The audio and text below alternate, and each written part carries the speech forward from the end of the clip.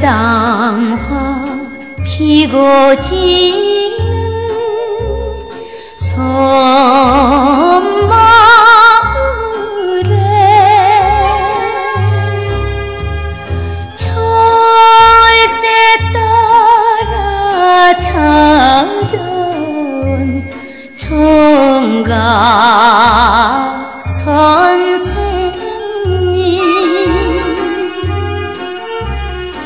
열아홉 살 섬색씨가 순정을 바쳐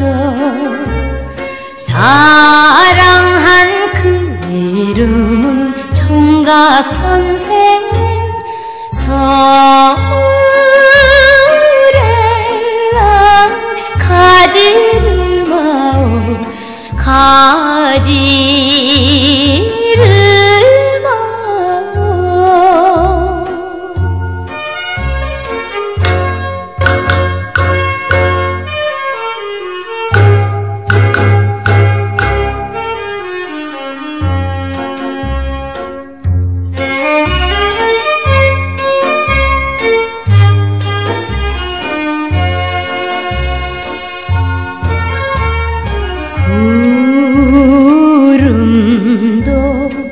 쫓겨가는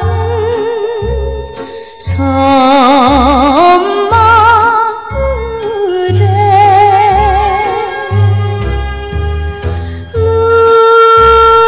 무엇하러 왔는가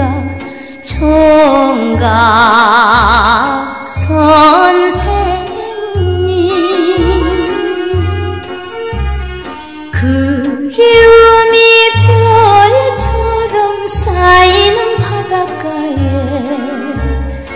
시름을 달래보는 총각 선생은